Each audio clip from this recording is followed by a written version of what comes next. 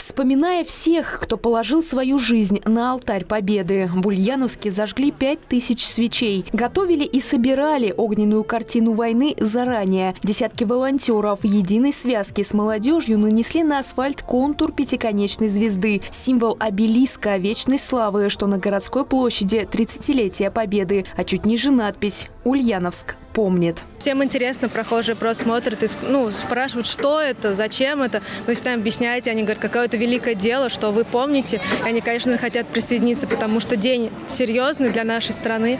И есть неравнодушные жители, которые просто отзываются в сердечке у них.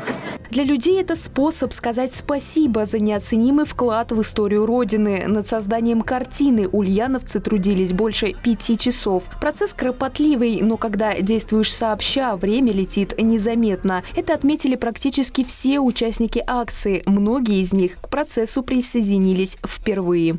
Самое главное – это быть аккуратным, не мешать другим, потому что ты очень легко можешь ногой задеть э, рисунок, и все может э, рассыпаться и упасть.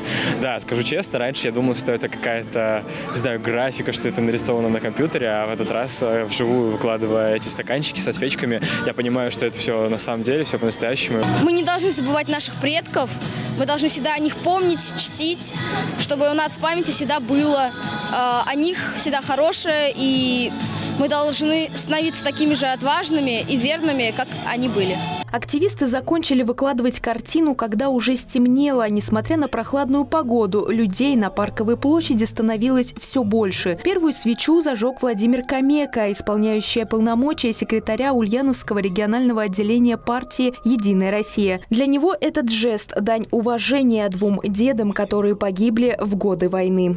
Сжигая эти свечи, проводя эту акцию, вспоминаем наших героев, которые освобождали нашу Родину. И еще раз повторюсь, сегодня, как никогда, это очень актуально, потому что среди нас сегодня, наших ровесников, есть такие же герои. Огненная картина войны зажглась в Ульяновске уже в третий раз. И пока тлел фитиль свечи, ульяновцы исполнили песни сороковых годов. Строки лились от души. Это был не постановочный концерт, а камерный вечер со слезами на глазах. Александра Никитина и Константин Никитин. Улправда. ТВ.